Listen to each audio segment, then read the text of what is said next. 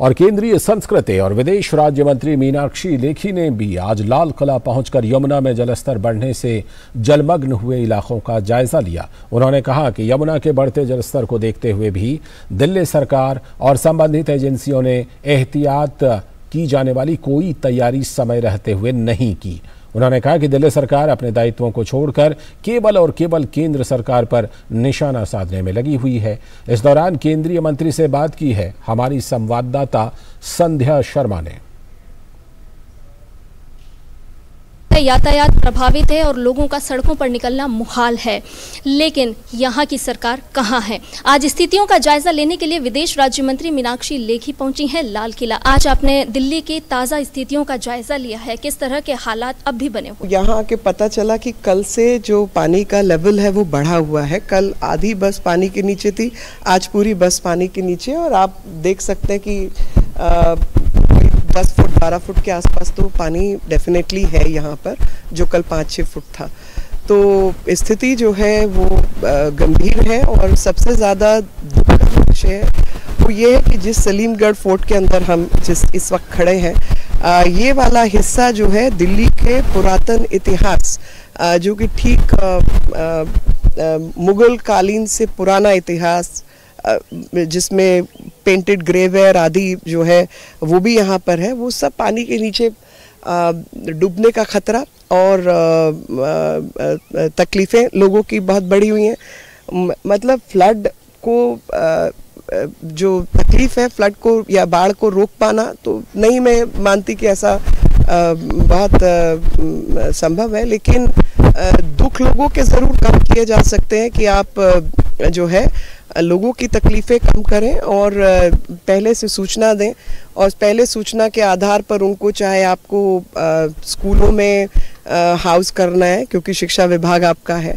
एक डिपार्टमेंट है जिसका नाम है फ्लड कंट्रोल विभाग यानी बाढ़ की रोकथाम के लिए। यूजुअली उसकी मीटिंग्स होती थी और मैंने उसकी मीटिंग्स पूर्व में अटेंड की हैं।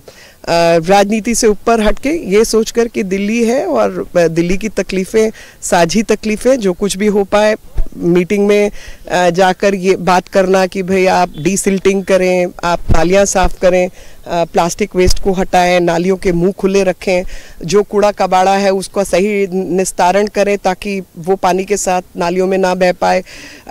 यमुना और नालों की ड्रेजिंग करें ताकि उसका जो कूड़ा है, ताकि उसकी कैपेसिटी बढ़ जाए पानी को एब्जॉर्ब करने की। ये सब यूजुअली काम होता था। इस बार की कोई हमें सूचना नहीं थी कि इस बार कोई ऐसी मीटिंग हुई है। और उसका जो बजट है उसकी भी तहकीकात होनी चाहिए क्योंकि मेरी आ, आ, आ, को ऐसा किसी ने सूचना दिया है कि वहाँ पर जो जो इनके एमएलएस के बोर्ड्स लगे हुए हैं ग्रेटर कैलाश आदि ऐसी तमाम जगहों पर वो सब बोर्ड जो है, उसका खर्चा flood department flood control department से हुआ है।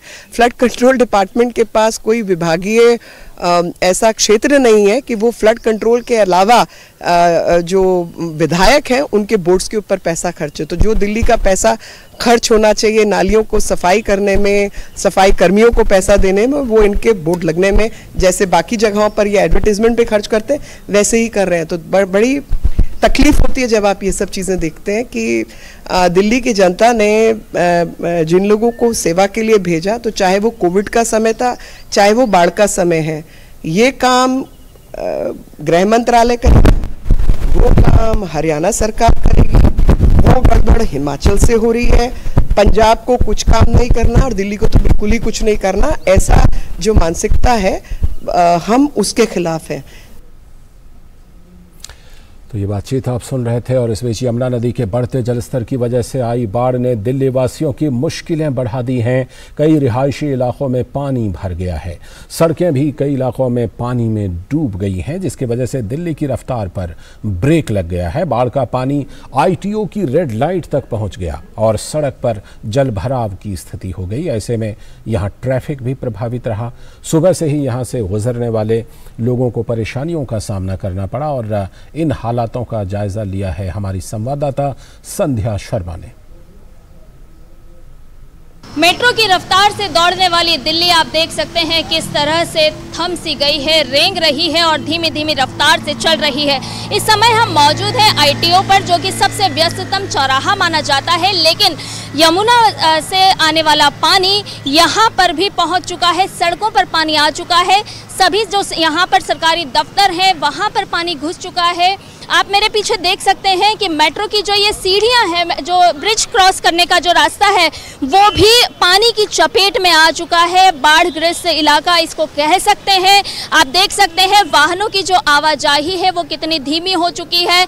जो लोग हिम्मत करके इस पानी में अपने दफ्तर तक, अपने गंतव्य तक जाने के लिए निकले थे, पहुँचने के लिए निकले थे उन्होंने इस रास्ते का सहारा तो लिया, लेकिन कहीं उनका वाहन बंद हो गया तो उन्हें कहीं इस बाढ़ के गंदे पानी का सामना करना पड़ा। हालाँकि इस मार्ग से केवल बसों की आवाजाही को यातायात विभाग ने चालू रखा था, क्योंकि ये मार्ग अब टू व्हीलर या पैदल जाने वाले लोगों के लिए किसी भी रूप से ठीक नहीं है। यहाँ पर जो भी आएगा वो कहीं ना कहीं इस गंदे पानी की चपेट में आ जाएगा। आप मेरे पीछे देख सकते हैं कि लोगों की आवाजाही जो है ये देखिए हम बात करते हैं इनसे ये कहाँ से आ रहे हैं? आप कहाँ आप कहाँ से आ रहे हैं और किस तरह का मुश्किलों का सामना आपको करना पड़ा? ऑफ़िस बंद है मैडम घर वापसी। तो घर वापसी करना पड़ रही है क्योंकि गाड़ी बंद हो गई है ऑफ़िस बंद हो गए हैं। कैसे जाया जाए? ये परेशानी का सामना करना पड़ रहा है। और भी लोग आप देख सकते हैं जो लोग इस पानी में निकले उन लोगों के वाहन बंद हो गए। हालाँकि लोग जो हैं वो आप देख सकते हैं कि बसों के माध्यम से ज़रूर सफ़र कर रहे हैं। लोग बसों के माध्यम से ज़रूर निकल रहे हैं। आप देख सकते हैं कि यमुना के बाढ़ का जो पानी है वो भले ही आ, कम हुआ हो रफ्ता रफ्ता कम हो रहा है लेकिन वो जो पानी है, वो सड़कों पर आ चुका है, बाढ़ का रूप ले चुका है। और आप देख सकते हैं कि जब आवाजाही होती है तो किस तरह से ये पानी का जो वेग है, वो आता है और लोगों को हिचकोले खाने पर मजबूर कर देता है। तो कुल मिलाकर दौड़ती भागती मेट्रो की रफ्तार से चलने वाली ये दिल्ली कहीं ना कहीं थम गई है। जिम्मेदारों ने जिस तरह से फैसला लेने में देरी की, जिस तरह से निर्णय वो नहीं ले पाए, जिस तरह से बाढ़ का अंदाज़ा वो नहीं लगा पाए, उसकी वजह से इस भागती दौड़ती दिल्ली के आम लोगों को परेशानियों का सामना करना पड़ा। कैमरा पर्सन सैंथल कुमार के साथ संध्या शर्मा, डीडी न्यूज़।